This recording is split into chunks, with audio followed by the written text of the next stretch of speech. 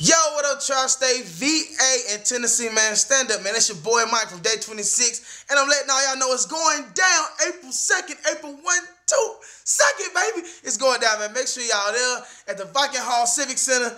It's going down, man. Me and Willie gonna be in the building. You know there's gonna be some other artists in the building, but I'm telling y'all on April 2nd to go get your tickets now, because it will sell out, man. You already know how we do when we come in the building. It's gonna sell out. So, you know, get some tickets and get them now. Holla at your boy.